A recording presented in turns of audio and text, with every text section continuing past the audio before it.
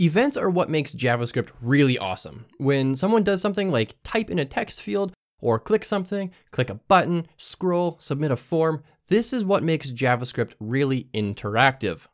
Now, there are really two primary ways we can do this. We can create an event listener, which we are going to cover in a later video, or we can create HTML based events, which is what we're going to stick with for now because it is a nice transition into JavaScript binded event listeners. So forget I even said that last part. Let's just start with a simple button. So let's go ahead and create a button in here. We have a button. Class could be BTN, BTN primary if you're using Bootstrap or something like that. And let's just make sure this is a regular button. So type is equal to button. And this is going to say, click me. All right, we got a boring button in here. And when I click it, yeah, it does nothing. But what we could do is we can use on click. So if you remember using this in HTML, or if you remember sort of learning about it or seeing it, this is where we're going to use on click. Now there are several other events. There's on submit, on click, so on and so on and so on. There's tons of them. I couldn't possibly go over all of them, but the on click event is the one we're going to use to trigger some JavaScript. So let's go ahead and put this on separate lines so this just looks a little nicer. And on click, we want to execute some JavaScript function.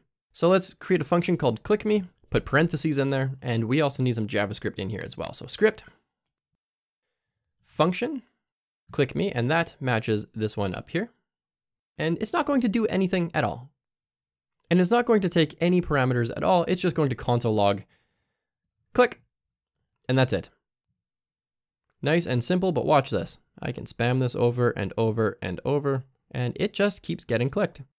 And so this is really the base behind a click event, is anytime someone clicks on the button, it's going to execute some JavaScript, a function called click me. Now we could actually get a little fancier with this too. We could say var total clicks is equal to zero. Let's do this. Total clicks is equal to total clicks plus one. Alternatively, if you come from other languages, it might be easier for you to do total clicks plus plus. That's the same thing as doing plus one. And let's do console.log. You've clicked this button, total clicks times. And just so we can see this on one line, so it looks a little nicer, you've clicked this button, total clicks times. So you've clicked it one time, two times, three times, four times. Let's give this a refresh. You clicked it one times, two times, one times. I like that two times, three times, four times, and it goes on and on and on. And so that is a click event. And really, what JavaScript is all about is events, because why have any JavaScript running if someone is not going to have some event going on? If you don't need user interaction, you probably don't need JavaScript at all. So let's go ahead and make this a little more interesting. Let's create a very basic calculator. It's going to be basically someone adds one number to a number that already exists. So let's go ahead and start this from scratch. So we've got an input field. Type is going to be a number. Class could be like form control because we see that a lot in Bootstrap.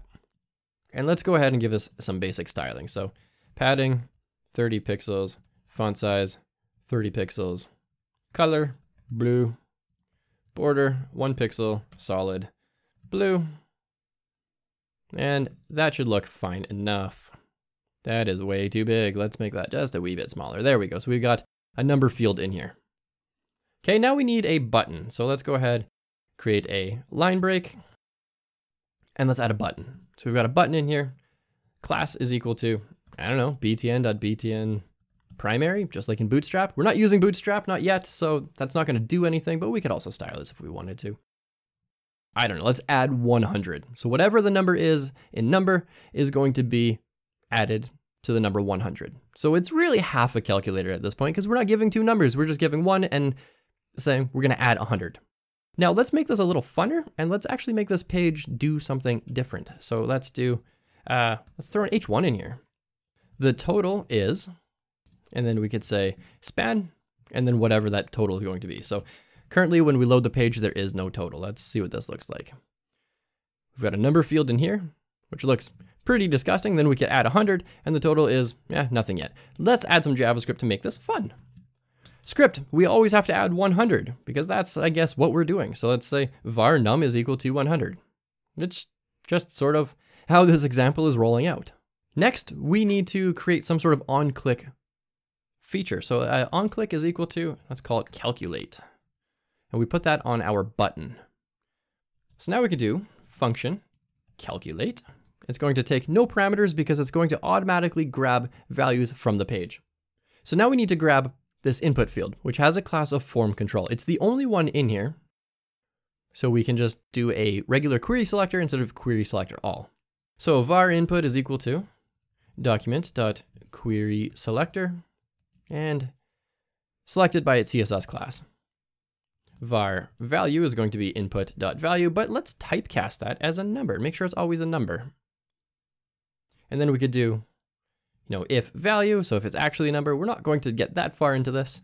I think that's going to pollute this lesson a little bit, but we could also do something like var total value is equal to value plus 100. Well, that 100 already exists in a variable called num, right? Right there. So now we have a total value and we have to select this fella. So let's create a query selector to grab the H1, and then let's create another query selector to grab the span. I mean, we could just select the span because it's the only one on the page, but what if it wasn't? If it wasn't the only one on the page, this could be a little trickier. So let's create var H1 is equal to document dot query selector. We know that this is the only one on the page, so we can just use regular query selector H1. And then we can do var span is equal to H1 dot query selector span.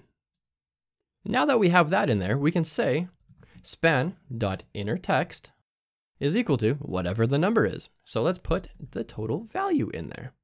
And let's see if Kalob has made any mistakes. Console is not complaining about anything. Let's put a number in here. Let's put the number 9. Oh, yep, look at that. It can't find something. Can cannot set property inner text of null. Oh, it doesn't know where to find that. So now we debug, and this is a big part of coding as well. I'm actually glad that some of these mistakes come up so that you can actually see how someone does this kind of debugging. So we have a function in here and we want to grab this h1. So let's just grab that. And when we type h1, oh, look at that. It's because it's not the only h1 on the page. Huh. Well, we could do one of two things. We could get rid of this one, or we could do it the JavaScript way and we could do query selector all. But because this returns an array and we know all about indexing, and we know that there's at least two H1s in there, we want the second one, let's grab one. Because remember, computers start counting at zero, not the number one. Let's try this again. Let's just get rid of that. And let's put the number 23. Oh, look at that. And now we have somewhat of a calculator, so we can put any number I want in here. And it's just going to add 100. What if I don't have anything in there? Ooh, ooh, nothing. Okay, what if I tried to put the name Kalob? Oh, it's a number field, so HTML doesn't allow me to put numbers or letters. It only wants numbers. So cool, that's a little bit of security there. So let's do 0, 1. What happens there? It's still 101. And so now at this point, we have somewhat of a working calculator prototype. There's nothing in the console log. We're doing it all on the actual page, and now our page is becoming a lot more dynamic. This is where it gets a lot a lot funner because you can actually see your progress at this time. Now going back to our function, we're not actually returning anything. We could, but because it's an event listener, it doesn't need to return anything. It just needs to execute a bunch of code. And that's what we did. We said, hey, run these six lines of code, but you know, wrap it up in a name called calculate so that we can just type calculate in here. So really we packaged it up in a nice Amazon box and we said, hey, this box has a sticker on it called calculate, and inside of this box is six commands. And when you open that box, the calculate box, there are six commands in there, six items. And so that is the basis behind JavaScript events. Now there's a much more JavaScripty way of doing this called an event listener, but this is a very good segue into that. Now what I would like you to do is try this out. Create an on-click event that uses a function. Again, it does not need to be super complicated. Don't feel like you have to impress anyone with it. It just needs to do something, anything. It could even console log if you wanted it to. If you get stuck along the way, hey, there's a comment section down below. Don't forget, I am here to help you. And if you're feeling rather confident that you have this down pat, let's move on to a bigger project.